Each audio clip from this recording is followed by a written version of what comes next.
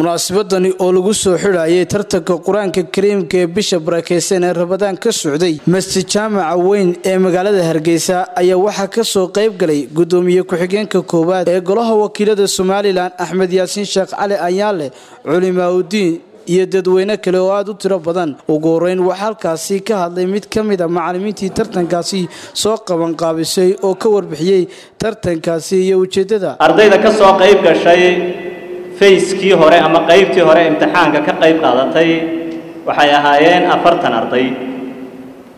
Afartankaa arday waxay isugu jireen soddonka jis iyo shan iyo tobanka iyo tobanka iyo shanta ayay isugu jireen.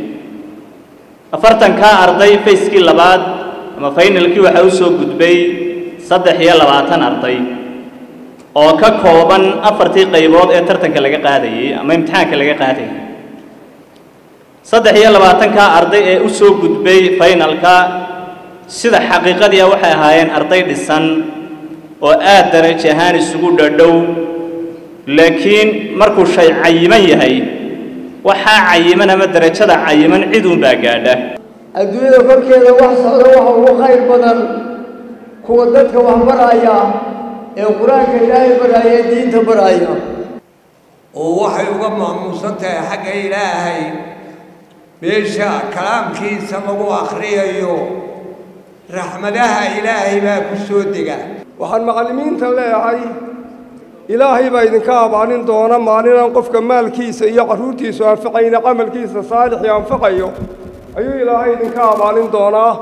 Sheekh cabdiraxmaan yaasiin jaamac oo ka mida culimmada waaweyn ee somalilan iyo guddoomiye ku-xigeenka koowaad ee golaha wakiilada axmed yaasiin sheekh cali ayaanle ayaa iyaguna dhankooga hambaliyeeyey ardaydaasi ku guulaysatay tartanka bisha barakeysan ee rabadaan ee qur'aanka kariimka ee ka socday masjid jaamaca weyn ee magaalada hargeysa. Xamalatul qur'aan oo aad iyo aad loogu tabcay ilaahay ajriyo xasanaadka ka siiye oo aad qiiroonayso markay qur'aanka akhriyayaan waa wax ilaahay loogu mahadiyo.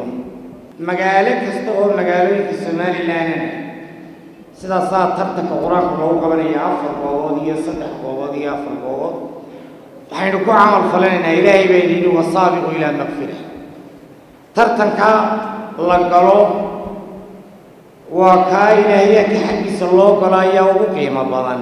Qur'aanku la mid ma aha hadalka kale ee dadka caadiga waa kalaamkii ilaahay. Sida ilaahay makhluuqiisa uga duwan kalaamka uga duwan yahay kalaamyada kale.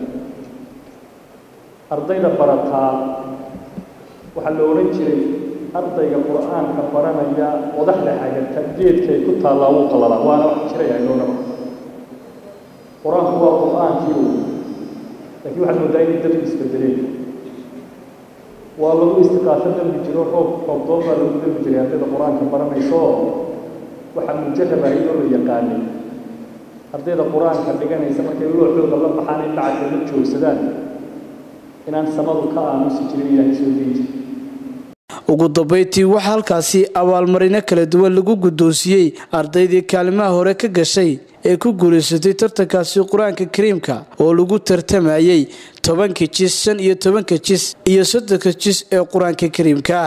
Xamse jaamac xuseen awowo star t v. Hargeysa